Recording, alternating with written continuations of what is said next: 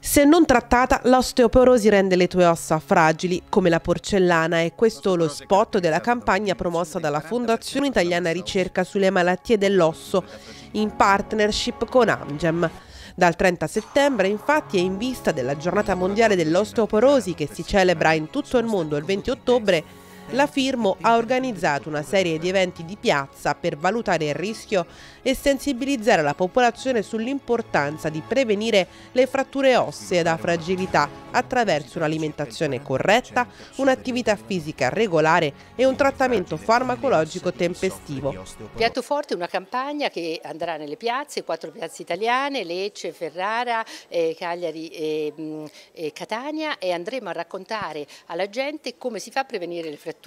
andremo a dire quali sono i sistemi di prevenzione, eh, non andremo certamente a fare prescrizioni di farmaci ma solo ad informare le persone e in questo sarà attiva la Fondazione Italiana Ricerca sulle Malattie dell'Ozzo che io presiedo che è stata felice di accettare l'invito dell'industria Amgen a portare avanti questa campagna e che oggi vede il patrocinio eh, del Ministero della Salute nella giornata che celebriamo oggi a Roma. È molto e... più facile prevenire che curare, insomma questa è una regola, è la prima regola in, in medicina i costi di un paziente fratturato in conseguenza di una frattura da fragilità, da osteoporosi, eh, sono veramente alti e sono veramente impegnativi per tutto il sistema sanitario, oltre che per la famiglia che deve supportare pazienti di questo tipo.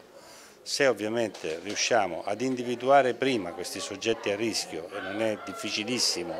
con le opportune eh, diciamo, eh, correzioni che si possono apportare al nostro modo di operare, quindi informando la gente, rivolgendoci all'associazione dei pazienti, coinvolgendo i medici di famiglia, individuare quella che è la popolazione a rischio e iniziare un trattamento che sia un trattamento farmacologico ma anche e soprattutto di stile di vita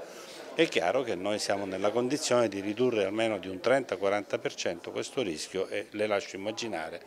da un punto di vista di impatto sociale cosa questo può significare. Dopo i 70 anni una donna europea su due va incontro infatti a una frattura ossea legata all'osteoporosi. Il 66% delle donne e il 50% degli uomini sono colpiti da osteoporosi e osteopenia cioè una massa ossea ridotta rispetto alla normalità che spesso precede l'osteoporosi. Si vive sempre più a lungo e quindi le donne devono potersi prendere cura di se stesse per garantirsi un invecchiamento in salute, ha detto il ministro della salute Beatrice Lorenzin. Questa campagna rientra a pieno titolo nello spirito della giornata per la salute della donna indetta dal Ministero. Molte di queste cose si possono prevenire prevenendo la della degenerazione, prevenendo questa malattia che può insorgere in menopausa, ma a volte anche prima, attraverso innanzitutto una consapevolezza di che cos'è l'osteoporosi, quando ti colpisce, come, eh, attraverso la consapevolezza dell'importanza di un'alimentazione ricca di calcio, di vitamina D, sin